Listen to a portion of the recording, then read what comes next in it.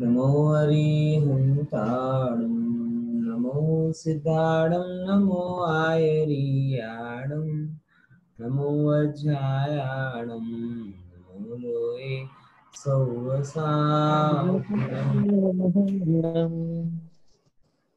मोक्षमार्गस्य नेतारं नेतारं नेतारं कर्मगुरुतं मातारं सूत्र की चर्चा में हम अभी अपनी चर्चा को आगे बढ़ाते हुए तीसरे अध्याय पर पहुँचे और तीसरा अध्याय मतलब जैन भूगोल का अध्याय। किसका अध्याय? जैन भूगोल का अध्याय। और इसमें हम जिसकी चर्चा हमने लास्ट क्लास में की, कि जैन भूगोल को जानने के क्या लाभ हैं? उसके अमुक पॉइंट डिस्कशन किए, है ना? दिखाई दे रहा है ना? और फिर जिस जगह पर हम रहते हैं, वो लोक ऊर्ध, मध्य और अधो, वहाँ से कैसा है, इसको थोड़ा समझा और समझने लायक बात ये आई थी कि ये जो लोक है, आकाश अनंत है, और अनंत आकाश में ये जो लोकाकाश है, ये लोकाकाश चौदह राजू हाइट सात राजू उसकी मतलब मोटाई, और नीचे से सात राजू, बीच से एक राजू, ऊपर जाके साढ़े पाँच राजू, और फिर लास्ट में जाकर पाँच राजू, और लास्ट में जाकर फिर एक राजू। यानी इसकी औसत चौड़ाई एवरेज जो इसकी बैठ है, चौड़ाई है वो साढ़े तीन राजू आती। है एवरेज कैसे निकाला? बड़ा सरल है। सात आठ, सात और एक आठ आठ और पाँच तेरह तेरह और एक चौदह। फोर्टीन हुए इसके और फोर्टीन को फोर से डिवाइड कर दिया। तो साढ़े तीन राजू इसकी एवरेज चौड़ाई यहाँ पर निकल कर आती है। अब घन फल। घन फल आपको पता होगा। आपने अगर स्कूल में मेंसुरेशन सॉल्व की हो तो मेंसुरेशन में दो टाइप की बातें आती थी। क्षेत्र मिति होती थी ना, उसमें दो प्रश्न होते थे। एक प्रश्न तो ये होता था कि इस दीवार पर अगर एक टाइल्स इतना है तो इस दीवार पर टोटल कितने टाइल्स लगेंगे? बराबर कितने पेंट कलर होगा? और एक ये होता था कि इस टंकी में कितना पानी भरेगा? तो जब ऊपरी ऊपरी चीज़ को हमें निकालना होता है तो हम स्क्वायर में निकालते हैं। और मतलब जैसे अपन बोले ना वर्ग के रूप में निकालते हैं। और जब गहराई उसके अंदर का वॉल्यूम निकालना होता है तो हम घनफल निकालते हैं। तो ये जो लोक का घनफल है, जिसमें लंबाई, चौड़ाई और मोटाई, ये तीनों चीज़ें आती हैं। जब हम इसके हिसाब से लोक को देखते हैं तो लोक का टोटल घनफल निकलता है तीन सौ थ्री फोर्टी थ्री घन राजू। समझ में आया कैसे निकला? कैलकुलेशन आपके सामने है। चौदह राजू की चौदह राजू इसकी हाइट सात राजू इसकी मोटाई और साढ़े तीन राजू इसकी एवरेज चौड़ाई। तो 14 multiply by seven multiply by three point five is equal to three four three ये सिंपल फॉर्मूला है। जैसे किसी का तो मतलब ये घनफल क्या है? पूरे इतना प्रमाण इसके अंदर का स्पेस है। पूरे लोकाकाश का अंदर का स्पेस 343 घनफल है, घन राजू है, ये बात यहाँ से सिद्ध होगी क्लियर बराबर? देखो, अब एक बहुत अच्छी बात यहाँ पर आ रही है, वो बताते हैं। राजू मतलब क्या? राजू मतलब क्या है? तो बताते हैं। असंख्यात योजन। कल मैंने एक परिभाषा बताई थी पूछ लू किसी को याद हो तो है? कि वो राजू जो छुटका राजू है, वो कितना बड़ा है? उसकी क्या परिभाषा है? हैं? राजू की परिभाषा बताओ। मैंने बताया था ना, एक देव, है ना? एक देव क्या करे, जो कि एक सेकंड में असंख्यातों योजन जा सकता हो, वो असंख्यातों वर्ष तक कंटिन्यूस चलता रहे चलता रहे चलता रहे। और वो जो दूरी तय करता है, उस दूरी को एक राजू कहते हैं। खबर पड़ी कितना ज़्यादा विस्तार एक राजू का है। इसीलिए यहाँ पर बोला, अपन भी एक राजू की सिमिलरिटी अगर अपने को करनी है इस दुनिया की गणित से, दुनिया की विज्ञान से एक सुंदर कॉन्सेप्ट आता है लाइट ईयर का। पता है ना? दुनिया में जब एक दूसरे लोगों की, अपन तो जब, क्या कहते हैं, एक दूसरी जगह गाँव, शहर का डिस्टेंस मापना हो तो किलोमीटर्स में नापते हैं। लेकिन एक ग्रह से दूसरे ग्रह की दूरी नापनी हो तो कैसे नापोगे? कौन बताएगा? उसके लिए सुंदर एक कल्पना या गणित हमारे वैज्ञानिकों ने बनाई है लाइट ईयर क्या बोलते हैं? लाइट ईयर और लाइट ईयर का कॉन्सेप्ट है? कि लाइट होती है ना लाइट ये एक मिनट में समथिंग तीन लाख पर किलोमीटर जाती है। एक मिनट के अंदर तीन लाख किलोमीटर तक वो चली जाती है। लाइट अगर आप कहीं करोगे तो लाइट को वहाँ तक पहुँचने में तीन लाख किलोमीटर लगते हैं। एक मिनट में तीन लाख किलोमीटर। तो वो तीन लाख किलोमीटर एक मिनट में जा रही है लाइट। तो वह एक साल में कितनी जाएगी? कैलकुलेटर से सॉल्व हो सकता है, कोई बहुत बड़ी बात नहीं है। लेकिन एक प्रमाण की एक मिनट में तीन लाख किलोमीटर जा रही है तो एक साल में कितनी जाएगी? बोले, इतनी, जितने किलोमीटर वो क्रॉस करेगी, उतनी दूरी को हम कहते हैं एक वन लाइट ईयर एक प्रकाश वर्ष। कि प्रकाश अपनी गति से चलने में एक साल में जितनी दूरी को तय करता है, वह प्रकाश वर्ष यानी लाइट ईयर कहलाती है। ठीक है ना? बराबर? तो जैसे वहाँ पे प्रकाश वर्ष को नापा जाता है, वैसे यहाँ पर राजू को नापा जाता है। बराबर? मतलब कहने का ये है तात्पर्य कि इतना विस्तृत गणित, इतना विस्तार से जिनवाणी में सब समझाया गया है। और हम हैं कि छुटपुट छुटपुट क्या ना कि चिंदी चोरी में पड़े हुए। हैं? आया? तो ये चीज़ को यहाँ पे ध्यान रखना। अब देखो, अपन इसको थोड़ा आगे बढ़ाते हैं। असंख्यात योजन प्रमाण जाता है। अब यहाँ पर क्या कहते हैं? दो योजन के दो प्रकार होते हैं। ये भी जानने लायक बात है। एक होता है प्रमाण योजन और एक होता है नॉर्मल योजन। दो प्रकार से आचार्यों ने योजन को डिफाइन किया है। जनरली अकृत्रिम वस्तुओं को मापने के लिए प्रमाण योजन माना जाता है। और प्रमाण योजन बराबर क्या है? तो वहाँ पे कैलकुलेशन थी चार फोर थाउज़ेंड माइल कितने माइल फोर थाउज़ेंड माइल और एक होता है व्यवहारिक योजन। तो व्यवहारिक योजन को मापने के लिए यहाँ पर बोला चार कोश। बराबर? अब यहाँ पे उस कोश और माइल का खुलासा करते हैं। कि एक वन कोश बराबर, एक कोश बराबर टू माइल होता है। और एक माइल में डेढ़ किलोमीटर होते हैं, यानी एक कोश में लगभग तीन किलोमीटर होते हैं। ये बैठ रहे कि नहीं बैठ रही बाउंसर जा रही सब बातें। हम्म? बोलो, सब समझ में आ रहा है ना भैया? बहुत कठिन गणित नहीं है, बड़ी सरल है। वैसे मैं गणित में एक्सपर्ट होने का दावा नहीं करता, लेकिन ये बिल्कुल प्राइमरी लेवल की गणित है, इसीलिए आपको समझ में आ जानी चाहिए। क्या बोला फिर से समझना? जरा ध्यान से। योजन जिनवाणी में दो प्रकार से बताया है। एक योजन बताया प्रमाण योजन। प्रमाण योजन बराबर क्या हुआ? बोले फोर थाउज़ेंड माइल तो जब कभी हम अकृत्रिम वस्तु की नापते हैं, जैसे नंदीश्वर द्वीप एक सौ तिरसठ कोड़ी योजन महा, ये बोलते ना?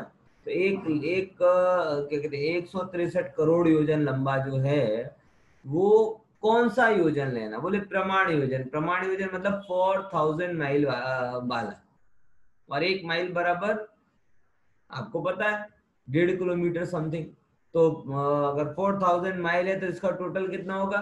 छह हज़ार छह हज़ार किलोमीटर समथिंग आएगा। ओके? एक योजन बराबर नीचे लेकर है छह हज़ार किलोमीटर प्रमाण योजन में।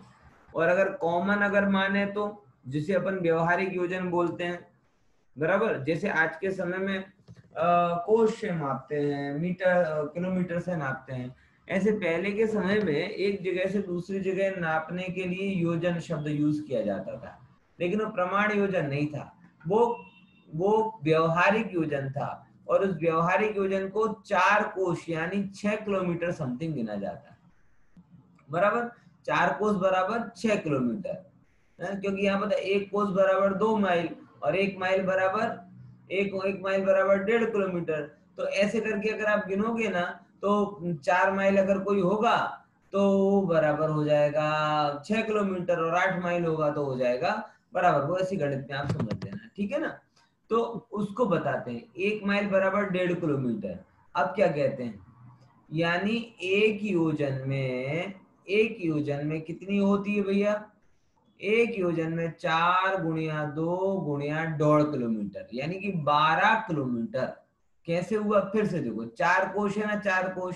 तो चार कोश तो एक कोश बराबर दो मील, बराबर, और एक मील बराबर डेढ़ किलोमीटर।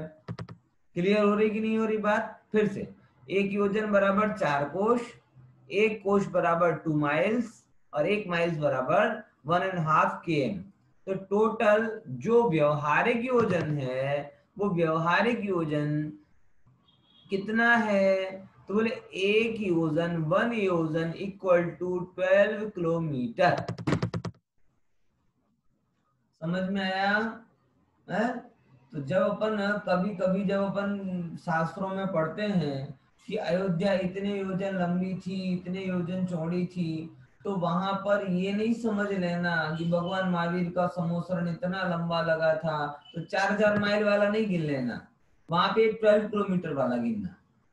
क्योंकि अगर दो योजन का समोसरण है, चार योजन का, सौ योजन का समोसरण है तो चार हज़ार माइल वाला नहीं आएगा, क्योंकि उसमें तो पूरा भारत नप जाएगा। है? तो वहाँ कौन सा योजन लिया जाएगा? वहाँ पे चार कोस वाला योजन। और लेकिन जब नंदीश्वर द्वीप की रचना इतनी है स्वयंभू रमण समुद्र इतना है, सुमेरु पर्वत इतना है, तब जाके हम वहाँ पे ये चार हज़ार माइल वाला अपन योजन वहाँ सेलेक्ट करेंगे, ठीक है ना? देखो। और प्रमाण योजन का गिनना हो तो जो मैंने आपको गणित बताई थी कि 12 किलोमीटर गुणिया 500 बराबर? और फिर उसको 500 से गुणा कर दो तो 6000 किलोमीटर हो जाता है। यानी प्रमाण योजन प्रमाण योजन अपने व्यवहारिक योजन से 500 गुना अधिक है ये सीधा सीधा मतलब निकलता है ओके बराबर कोई प्रश्न इस संबंध में हम्म महानुभावो સાંભળો છો સરસ ચાલો બધાને ખબર પડી ગઈ ઉત્તમ વાત છે आगे अपन चर्चा करते हैं करणान योग विषय में एक सबसे बड़ी जो समस्या लगती है, वो लगती है ड्राइनेस की। कैसी? कि इसमें उनको ही मज़ा आता है, जिनको ज्ञान का रस है। जिनको ज्ञान का रस कम है, उनको थोड़ा वैसे ड्राई ड्राई लगता है।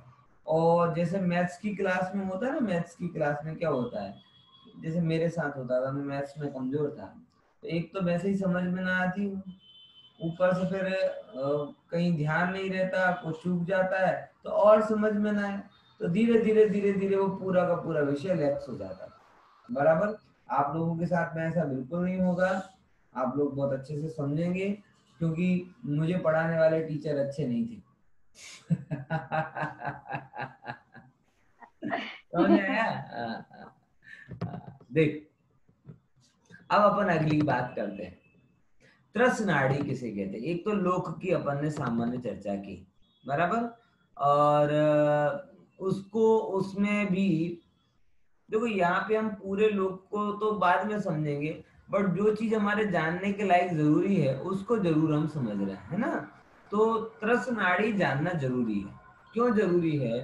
कि अगर आप त्रस नाड़ी को नहीं जानोगे तो आपको पता नहीं चल पाएगा कि कौन सी चीज़ कहाँ है और कैसी है। है ना? इसीलिए त्रस नाड़ी को जानना यहाँ पर ज़रूरी होता है।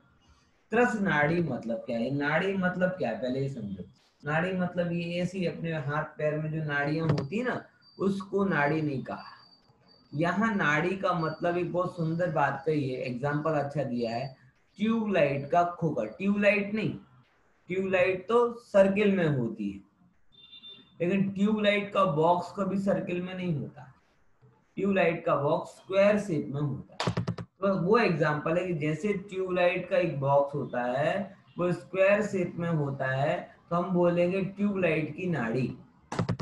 या नाड़ी का मतलब सर्कुलर नहीं है, या नाड़ी का मतलब स्क्वायर पाइप है। कैसा पाइप है? स्क्वायर पाइप देखो, आपके सामने चित्र भी बहुत अच्छे हैं। लकीली हम बहुत अच्छी तरीके के साधन हमें यहाँ पे मिल रहे हैं। और जिन साधनों के माध्यम से हम चीज़ों को समझ सकते हैं, वरना इन सब चीज़ों को समझने के लिए बहुत तकलीफ़ होती थी। पुण्य के उदय से काफ़ी सारे साधन हमको मिल रहे हैं। घर बैठे ऑनलाइन समझ रहे हैं, बड़ी अदाब से समझ रहे हैं। अगर ये मुझे क्या कहते हैं बोर्ड पर ड्रॉ करना होता तो इतना अच्छा भी नहीं हो पाता, इतना सिस्टमेटिक भी नहीं हो पाता। लेकिन आपके लिए यहीं पर मिल रहा है, कितनी अच्छी बात। बराबर, अब आप उसको यूटिलाइज करने की बात। देखो तो उसका साइज़ ऐसा होता है। तो लोक के बिल्कुल मध्य में लोक की आकृति आप बनाइए, जैसे अपन ने पहले चित्र में देखा था, और उसके बीच में से एक ऊपर से लेके नीचे तक एक ट्यूबलाइट का खोखा फंसा दीजिए। बस वो हो गई आपकी त्रसनाड़ी त्रसनाड़ी मतलब क्या? तो उसका खुलासा करते हैं कि जितने भी त्रस जीव हैं वो साथ, हम 2000 सागर के लिए जहाँ के मेहमान बने हैं ना, वो है त्रसनाड़ी। सादिक 2000 सागर के लिए हम निगोद से निकले। और निगोद में निकलकर जहाँ पर हम मेहमानी कर रहे हैं, वो जीज है त्रसनाड़ी। कहीं पर भी जाएँगे, वो क्या बनेंगे, त्रसनाड़ी में ही रहेंगे। बराबर? कितनी गजब बात है। हम कहीं होटल में जाते हैं, एक दिन के लिए, दो दिन के लिए पूरी इंक्वायरी कर लेते हैं। या त्रस नाड़ी में आ, आ, समझ में आया कि नहीं है इसलिए ध्यान रखना हाँ? अब अब वो है कहाँ पे त्रस नाड़ी तो त्रस नाड़ी सबको समझ में आई ना? आगे की नहीं आई भैया? सबको आगे समझ में? त्रसनाड़ी क्या है त्रसनाड़ी? है? त्रसनाड़ी क्या है?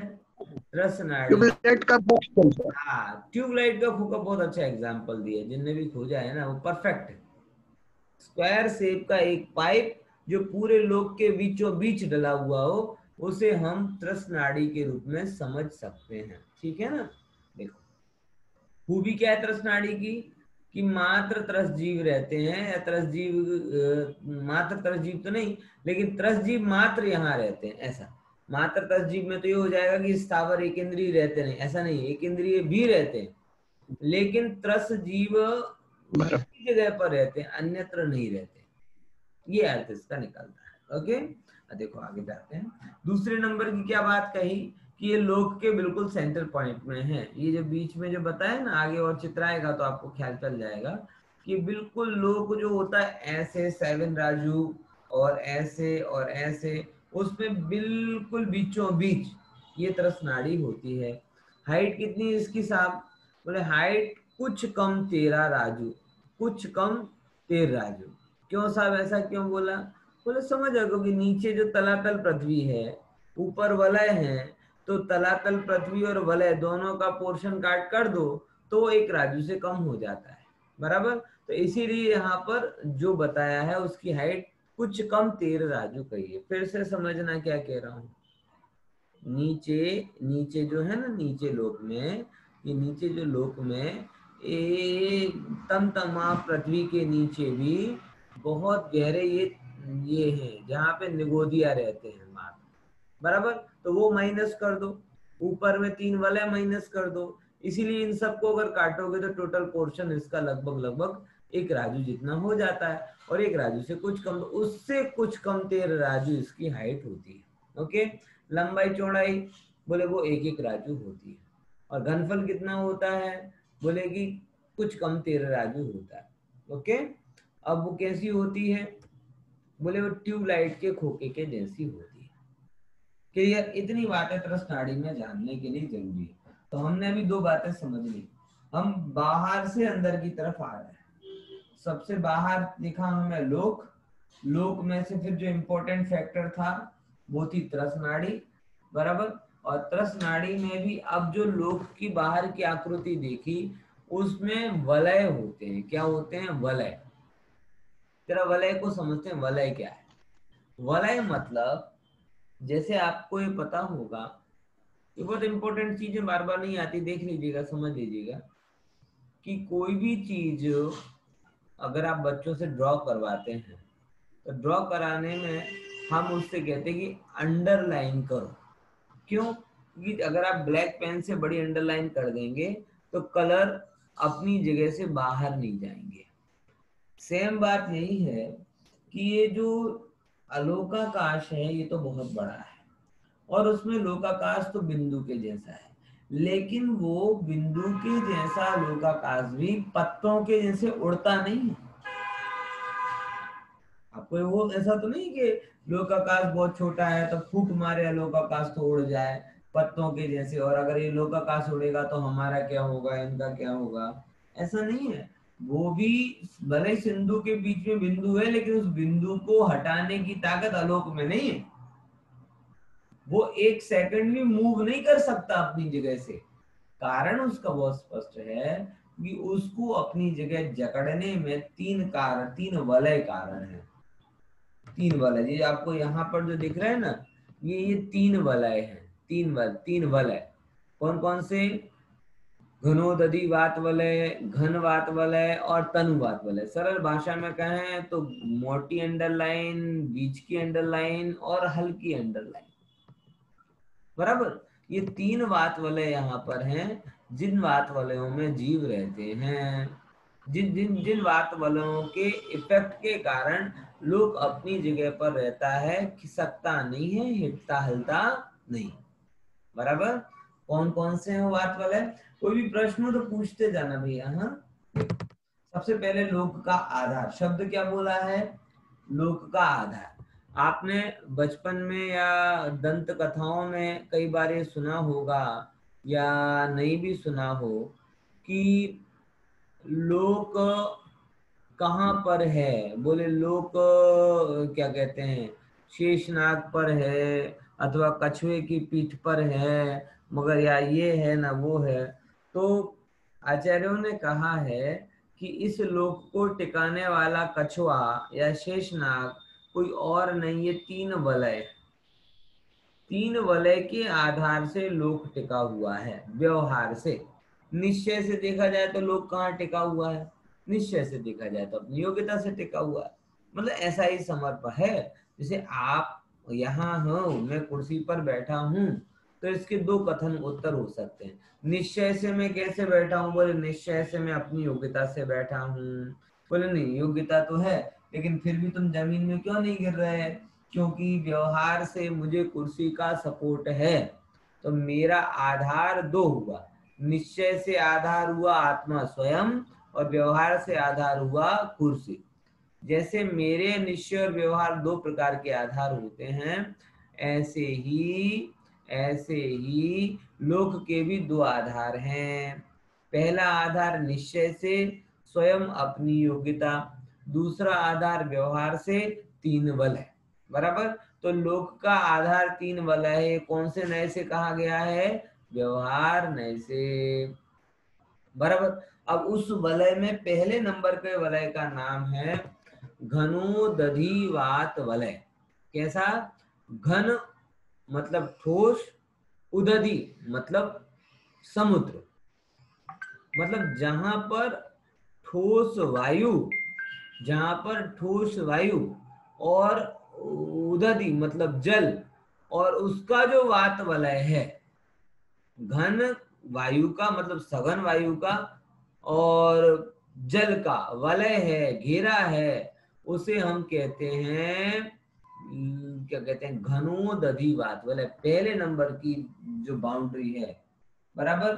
उसमें गहरी बहा गहरी बहा यहाँ पर है, ये ऊपर लेकिन आवाज़ कैसी आवाज़? सघन हवा वहाँ पर रहती है। पर इतनी ज़्यादा होती कि आप मूव भी नहीं कर पाते। तो वो वो चीज़ है घनोदधि बात बोले बराबर? देखो। अब घनोदधि बात, घनो लोक का आधार कौन है? घनोदधि बात बोले। अब घनोदधि बात बोले का आधार क्या है? तो ये लोक था ना, अब लोक का आधार कौन है? घनोदधि बात बोले। अब घनो, किसी ने कहा घनोदधि बात बोले का आधार क्या है? बोले घन दधि वात वलय का आधार घन वात वलय देखो, पहले आपको नाम से एक स्वरूप पता चल जाएगा, आपको दिमाग दौड़ाने की ज़रूरत नहीं। घन उदधि मतलब यहाँ पे घन, सघन वायु भी है और जल भी है तो तो बंधन गहरा है। बराबर? फिर बोले, घन वलय तो यहाँ पे क्या है? जल नहीं है, मात्र वायु वायु है। तो इसको क्या नाम दिया? मोटी हवा। मतलब सघन हवा है। पहले में जल और वाष्प दोनों थे। इसमें केवल हवा, गहरी हवा है। ठोस वायु का घेरा है। ऐसी वैसी वायु नहीं, गहरी मोटी वायु का घेरा है। और तीसरे नंबर पे कौन सी वायु ली? घन वात वलय तो तो घन वात वलय हुआ घन वात वलय ठोस वायु का घेरा मोटी हो घन वात वलय का आधार कौन है, है? घन वात वलय का आधार तनु वात वलय है। कौन सा वलय तनु। तनु मतलब तनु क्या कहलाता है? पतला हल्का। बराबर? जिसमें वॉल्यूम कम हो। तो तनुवात वाले कैसा होता है? तनुवात मतलब पतली वायु का घेरा। अब पतली वायु और ई वायु क्या होती है? देखो समझना। वायु के आपको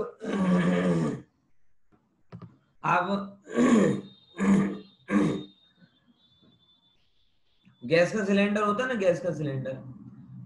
अगर उसमें 19 लगभग कितनी होती है गैस सिलेंडर में? गैस, है? बताओ। कितनी होती है? इतना तो पता होगा ना, गैस सिलेंडर आई थिंक लगभग लगभग 19 केजी होती है 19 या 18 पंद्रह से सोलह के जी। हाँ पंद्रह सोलह होती, चलो। अब वही पंद्रह सोलह उसमें हवा है, बराबर? और जब वो खाली हो गई तो उसमें आधा किलो हवा बची, एक किलो हवा बची तो पंद्रह सोलह किलो किलो हवा भी उस सिलेंडर में और वन केजी हवा भी उस सिलेंडर में, पूरे जगह पर वन केजी हवा भी पूरी जगह पर, ऐसा तो नहीं है कि वन केजी हवा नीचे बैठी हो, ऊपर बैठी हो। वो वन केजी हवा भी पूरे में फैली है फिफ्टीन केजी हवा भी पूरे में फैली है तो फिफ्टीन केजी उस जगह में आ गई बोले कंडेंस्ड हवा हो गई, सघन हवा, बराबर? और बाद में जब वो एक वन के हवा सब जगह फैल गई तो कहलाती है फैली हुई हवा, बराबर समझ में आया कि नहीं है? तो जैसे वही पवन है, वही हवा है, लेकिन जब कंडेंस्ड होती है तो उसको वॉल्यूम सघन होता है, आप उठा नहीं सकते। और जब वो फैल जाती है, सब जगह एरिया उतना ही कवर किया, लेकिन वो फैल गई तो उसका वॉल्यूम कम हो जाता है, वो कंडेंस्ड नहीं होती, सघन नहीं होती। पॉइंट समझ में आया? तो घनो घन वलय में कंडेंस्ड हवा है, और तनु वलय में कंडेंस्ड नहीं है, वो कम हवा है, हवा का वॉल्यूम कम है, उसका जो इफ़ेक्ट है वो कम है। बराबर? इसको यहाँ पे समझना। तो पतली हवा ये मोटी हवा और पतली हवा शब्द मतलब क्या है थोड़े कंफ्यूजिंग आपको लग सकते हैं हाँ बोलिए दिनेश भाई ये घनोदती वास्तव के बताया उसमें बाष्प यानी क्या हाँ वाष्प એટલે વરાળ बाष्प लिखा है हाँ हाँ हाँ उसका मतलब क्या बाष्प हाँ क्योंकि देखो वाष्प जो होती है ना वाष्प उसमें हवा भी रहती है और पानी भी रहता है अच्छा। वराड़ बहुत पावरफुल होती है। कभी साइंस में या फिजिक्स में पढ़ेंगे पहले तो ट्रेन भी किससे चलती थी? वराड़ से ही चलती थी ना? मतलब वराड़ में बहुत बल होता है। पानी भी होता है और जल भी होता है। तो जल और पानी दोनों का जो फोर्स है वो बढ़ जाता है। और इतना बढ़ सकता है कि उससे क्या कहते हैं ट्रेन भी चल जाती थी पहले। बहुत काम हुए गैस उससे। समझे? तो लोग का पहले नंबर का जो आधार है वो सबसे सघन है। आप देखो लोग कहते हैं साहब जेम्स वॉट ने भाप की शक्ति को खोजा। अरे आचार्यों ने भाप की शक्ति को सबसे पहले खोजा। जेम्स वॉर्ड ने बताते ना जेम्स वॉर्ड ने क्या किया था? कि वराड के पावर को खोजा और फिर उसके बाद में उसने उस उससे क्या कहते ट्रेन का इंजन बनाया और वो चलाया है? उनको लगता है कि ये पावरफुल है। अरे आचार्यों ने सबसे पहले बता दिया कि लोग का आधार जल और वाष्प दोनों है। और जल और वाष्प जल और वायु मिलेगी तो वाष्प बनेगी, और वो सबसे ज़्यादा सघन है। इसलिए लोग अगर कहीं रुका है अपनी जगह पर तो पहले नंबर का आधार सबसे मज़बूत होगा। और वो मज़बूत कौन सा है? बोले घनो दधी वात बल है। पॉइंट समझना है कि नहीं है? तो वाष्प यानी कि वरा। बराबर? सही बताओ ना, ये कई बार ऐसे सूत्र मिलते जैसे ये अभी आपको बताया।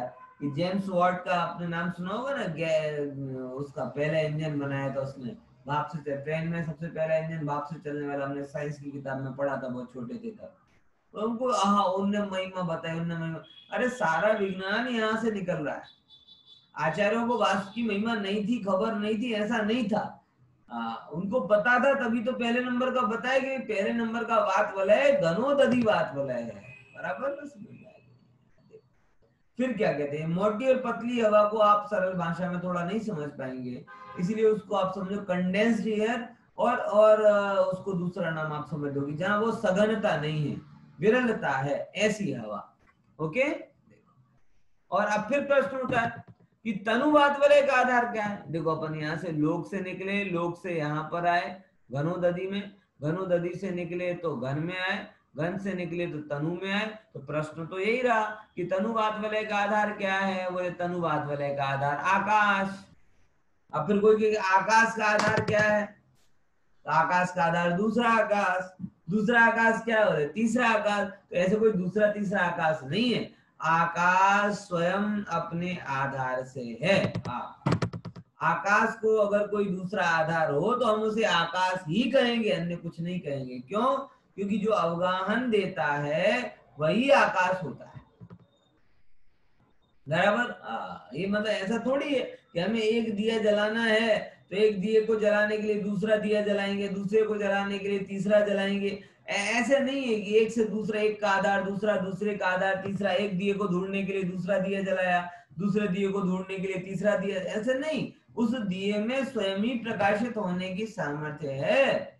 ऐसे ही आकाश में भी स्वयं अवगाहन देने की सामर्थ्य है। इसीलिए कहते आकाश सबको अवगाहन देता है। आकाश का कोई अवगाहन नहीं है, क्योंकि अवगाहन देना ही उसका स्वभाव है। अब दूसरे नंबर की बात, ये जो अगर आप समझ रहे हो, ये थोड़ी विशेष बात है कि वलय वलय मात्र वलय मात्र लोक के बाहर है या बाहरी सीमा पे है, ऐसा नहीं है। लोक में सात पृथ्वियाँ हैं। ये जो नीचे दिखाई देंगी ना, ये क्या है? सात पृथ्वियाँ हैं, यहाँ पर भी हैं। और इन सात पृथ्वियों का आधार भी वलय है। ऐसे ऐसे करके ना लो वलय है ना, वलय केवल सराउंड नहीं है। अंदर में जो सात नरक वाली सात पृथ्वियाँ है ना, उन सात नरक वाली सात पृथ्वियों में भी, उन सात नरक वाली सात पृथ्वियों में भी आधार देने वाला ये ये ये लोकाकाश ये तीन वलय बराबर ना? तो इस चीज़ को भी आप थोड़ा समझिएगा और ध्यान रखिएगा। अब देखो क्लियर हुआ? तो सातों पृथ्वियाँ मतलब सातों पृथ्वियों का आधार वलय है। इसीलिए वो पृथ्वियाँ हिलती नहीं है। इसीलिए वो पृथ्वियाँ चलायमान नहीं होती। हम कौन सी पृथ्वी पर हैं भैया? है? कौन सी पृथ्वी पर हैं हम लोग? कौन उत्तर देगा? कौन सी पृथ्वी है हमारी? रत्न प्रभा पर पृथ्वी। रत्न प्रभा रत्न प्रभा तो नीचे आती है। रत्न प्रभा तो एक ऊपर ऊपरी नाम है। एक्चुअल में रत्न प्रभा की बहुत सारे लेयर्स हैं। उसमें जो फ़र्स्ट नंबर की लेयर है उसे हम बोलते हैं चित्रा पृथ्वी। कौन सी पृथ्वी? चित्रा पृथ्वी। तो हम लोग चित्रा पृथ्वी पर है। कौन सी पृथ्वी पर? है? चित्रा पृथ्वी। चित्रा पृथ्वी। हाँ हाँ वो बाद में करेंगे बाकी चर्चा बराबर? तो मेन नाम उसका रत्न प्रभा है और बड़ा नाम लेकिन स्पेसिफिक नाम अगर देखा जाए तो चित्रा पृथ्वी है। ओके देखो। यहाँ पर आते हैं। अधोलोक की बात कही। अधोलोक की स्थिति क्या है? बोले, अधोलोक की स्थिति, कहाँ से अधोलोक की सीमा चालू होती है? बोले, मेरू की जड़ से नीचे तक।